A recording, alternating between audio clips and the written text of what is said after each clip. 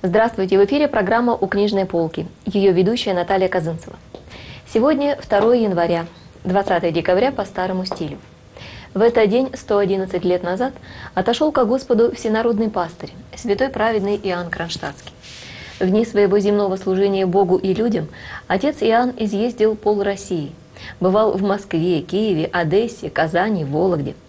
Всюду он совершал литургии, проповедовал, благотворил, исцелял недужных а сколько молодых людей, колебавшихся в выборе жизненного пути, он благословил на духовную стезю.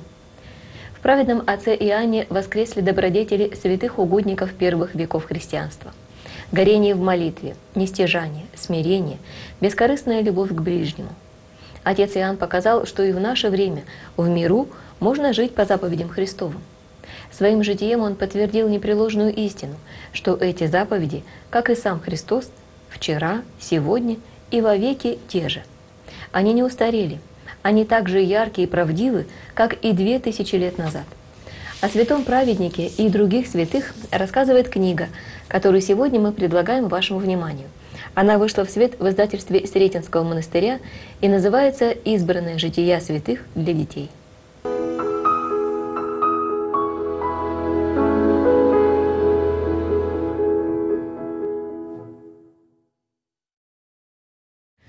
Должны знать дети о русских святых? Конечно, должны, говорит вологодский писатель, автор многих хороших книг, член Союза писателей России Роберт Александрович Балакшин. И мы, конечно, с ним согласимся. Нужно только написать о святых так, чтобы современные дети смогли понять, о ком и о чем идет речь. Ведь русский язык прошлых веков или церковнославянский, на которых писались жития святых несколько веков назад, уже не очень доступен нашим юным читателям на первых порах. Вот и взялся Роберт Александрович переложить для детей на современный литературный язык жития святых. И получилось у него 60 повествований о наиболее почитаемых подвижниках самых разных эпох и стран, которые и составили эту книгу. При ее подготовке автор использовал изданное в XIX веке на русском языке 12-томное «Жития святых», изложенное по руководству Чети именей святителя Дмитрия Ростовского, переизданное уже в наше время. Тексты распределены по дням церковного празднования каждого святого в хронологическом порядке с января по декабрь. Соответственно, открывает книгу «Житие святого праведного Иоанна Кронштадтского», почившего 2 января 1908 года – а завершает издание «Житие священномученика Илариона Троицкого», пострадавшего в годы гонений и окончившего дни своей жизни в тюремной больнице 28 декабря 1929 года.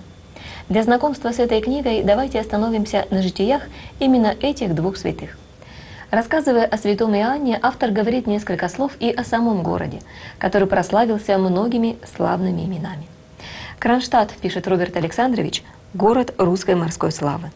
Отсюда под Андреевским флагом уходили в бой эскадры адмиралов Григория Андреевича Спиридова и Дмитрия Николаевича Синявина. В далекую Японию отплывала экспедиция адмирала Ефимия Васильевича Путятина. Сюда со славой возвращались герои Чесмы и Наварина. Здесь бросали якорь, завершив первое русское кругосветное путешествие, шлюпы Нева и Надежда. Здесь же просиял подвигами воин на поле брани духовной более 50 лет проходивший в Кронштадте священническое служение, великий пастырь Иван Ильич Сергеев, праведный Иоанн Кронштадтский. «Благословенна русская земля», — восклицает автор, «если Господь даровал ей такого светильника веры, как отец Иоанн. Он имел дар молитвы, который посылается людям с искренним чистым сердцем. Он верил в Бога, как веруют дети. Ребенок не думает, не сомневается, он просто верит — Оттого так слышны и угодны Богу детские молитвы. Молитва была естественным состоянием отца Иоанна. Как человек не может не дышать, так он не мог жить без молитвы. Он не пропускал случая, писал митрополит Серафим Чичагов, помолиться за человека по чьей-либо просьбе. радовался такой просьбе, считая, что молитва за других есть благо и для него самого, ибо она очищает сердце, утверждает веру и надежду на Бога. Истинная молитва подобна солнцу, лучи ее расходятся повсюду. О благодатном священнике из Андреевского собора заговорили люди. В собор потянулись десятки, сотни, тысячи богомольцев. И не было в те годы на Руси православного человека, который бы не знал отца Иоанна. Его имя с благоговением произносили в крестьянской хижине и в купеческом особняке, в солдатских казармах и царских палатах. Даже в душах закоренелых злодеев он пробуждал добрые чувства. Антон Павлович Чехов, великий русский писатель, путешествуя по России, писал, что в какой бы дом он ни заглянул, везде в красном углу, рядом с иконами, соседствовал портрет Иоанна Кронштадтского. Более 50 лет продолжалась пасторская деятельность Всероссийского батюшки, после чего светильник Церкви Христовой и молитвенник земли русской, всенародно чтимый пастырь и праведник, отец Иоанн Кронштадтский, отошел ко Господу. Спустя 82 года он был прославлен в лике святых. Перелистнем страницы книги и, открыв заключительное повествование, окажемся в самом центре Москвы. Здесь, как повествует автор, за невысокой каменной стеной расположился древний Сретенский монастырь. сердце обители – собор Владимирской иконы Божьей Матери. В соборе ничем не нарушимая тишина. У аналоя на подсвечнике теплится лесок свечей. Здесь, под соборными сводами, обрел вечный покой светильник Русской Православной Церкви, священномученик архиепископ Иларион. Богато одарил Господь своего молитвенника. Он наделил его глубоким умом – вложил в его уста дар убеждающего слова. Имя святителя Илариона было известно всей России. Много сделал владыка для родной церкви, а сколько бы еще совершил. Но в 1917 году власть в России коварно захватили ее враги. С первых же дней они объявили православной церкви смертельную войну. В стране закрывались и разграблялись храмы, архиереев, священников и мирян убивали. Известно, что церковь сильна своим единством расколоть ее, раздробить на части, чтобы потом уничтожить, так задумала безбожная власть. Нашлись люди, изменившие Христу и Церкви, пошедшие в услужение к власти.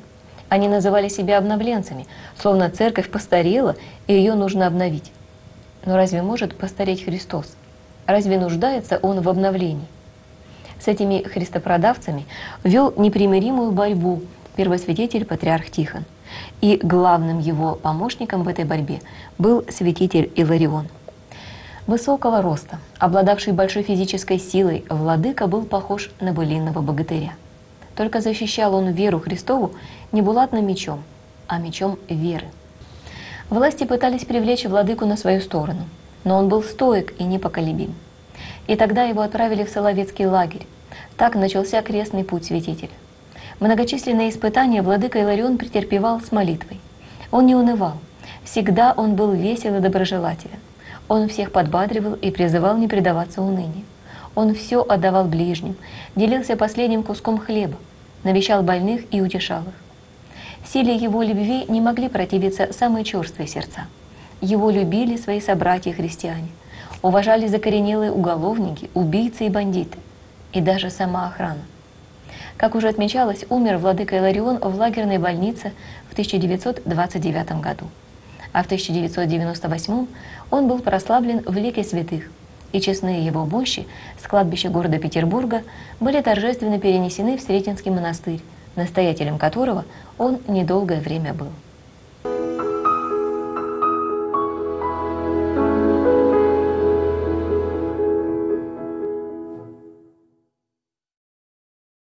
Святой праведный Иоанн и священномученик Каларион – светильники русской церкви.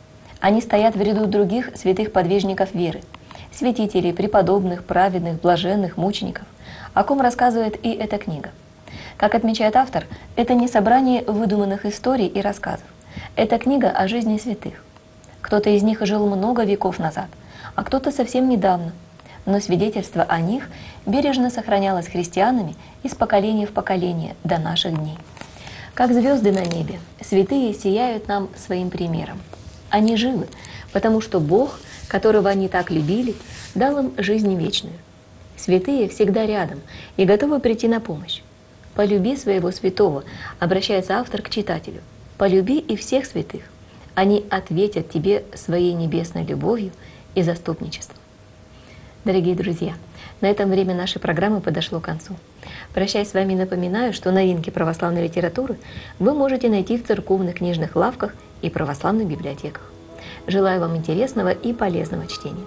Всего вам доброго. До свидания.